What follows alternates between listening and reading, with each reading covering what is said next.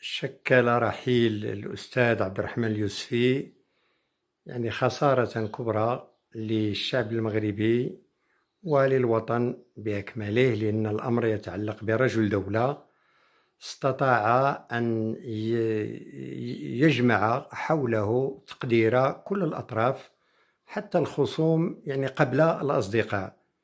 أثبت على أن المحاماة هي أيضا الدفاع عن حقوق الإنسان.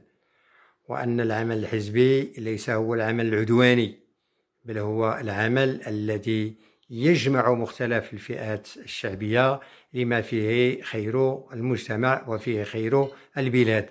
وأيضا أعطى للسياسة بعدها النبيل من خلال تجربته الرائدة في قيادة حكومة التناوب التوافقي الذي تمكن من خلالها بأن يبرهن عن حرفية أهلته لأن يكون فعلا في مستوى آه، ثقة كل الأطراف. بما في ذلك الثقة الملكية سواء من قبل المرحوم الحسن الثاني أو من قبل الملك آه، محمد السادس الذي تابع وضعيته إلى غاية اختفائه.